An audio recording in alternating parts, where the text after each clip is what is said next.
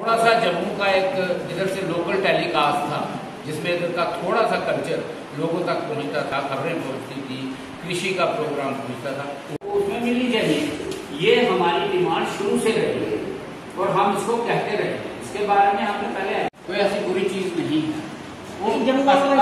है। वही वही तो वही है। तो हम कह रहे हैं कि जो जम्मू का हिस्सा है उस काफ़ी चैनल को लेके हम सभी जम्मू वासी कंसर्न हैं। जिसमें मुख्य रूप पे डोगरी संस्था जम्मू और टीम जम्मू और ऐसे कई लाइक माइंडेड और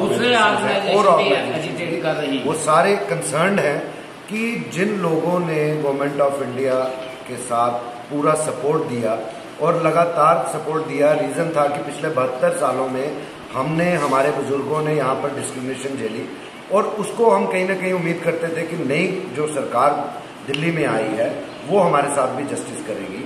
लेकिन बजाय जस्टिस करने के, इतनी अनदेखी होने जा रही है कि इन ऑर्डर से ही झलकता है कि वो चाहते ही नहीं है कि जो डोगरा कल्चर है वो कहीं ना कहीं आने वाले समय में एग्जिस्ट करे।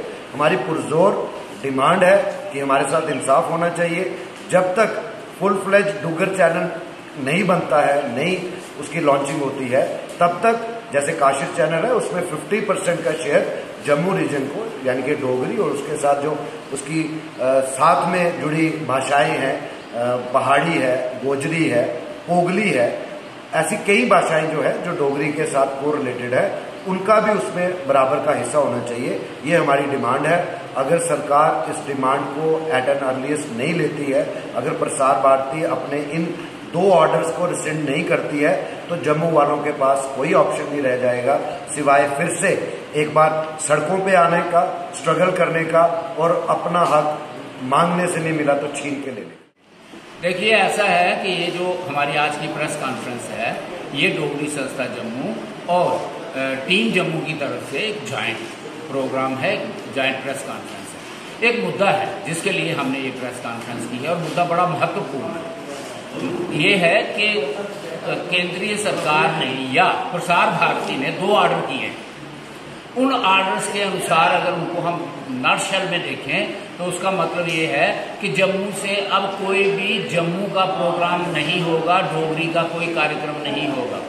अब आपको मैं थोड़ा इसको समझाता हूँ। इस आज से पहले क्या था कि सुबह से लेकर तीन बजे तक चलता था डीडी नेशनल तीन से सवा सात बजे तक चलते थे जम्मू दूरदर्शन के कार्यक्रम। उसमें डोगरी भी थी, उसमें थोड़ी बहुत पहाड़ी भी थी, दूसरे कार्यक्रम भी थे, कल्चरल भी था और उसमें न्यूज़ भी थी, बहुत कुछ था। लेकिन, और सवा सात तक चलता था। सवा सात के बाद फिर दोबारा डीडी नेशनल चलता था, रात तक अब ऑर्डर ये हुआ है कि सुबह पहला ऑर्डर पहले ऑर्डर के मुताबिक तीन बजे तक जो पहले प्रोग्राम चलते थे, वो सारे काशिर चैनल के होंगे। और जो प्रोग्राम सवा सात बजे के बाद चलते थे, वो भी काशिर चैनल के होंगे। तो डीडी नेशनल को पहले इन्होंने निकाल दिया। दूसरे ऑर्डर में, जो इसी महीने हुआ है, इन्होंने ये जो जम्मू का लोकल प्रसारण है, जो इधर से चलता है, उसको भी बंद कर दिया है। सारे के सारे कार्यक्रम काशिर चैनल के होंगे। ये उसमें है। अब बात ये है, ऐसा क्यों कर रहे हैं?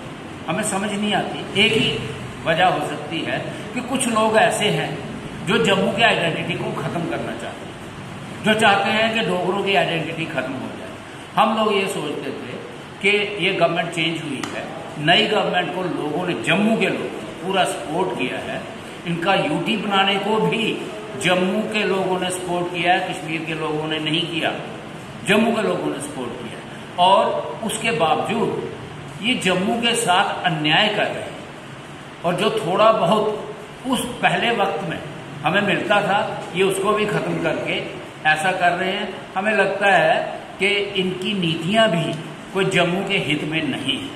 हम इनको ये अपनी तरफ़ से अर्ज़ करते हैं कि ये दोनों ऑर्डर वापस लें और डुग्गर चैनल शुरू करें, जैसे काशिफ चैनल। अगर नहीं कर सकते तो काशिर चैनल में 50 परसेंट हिस्सा 50 प्रतिशत हिस्सा जम्मू के प्रोग्रामों को दिया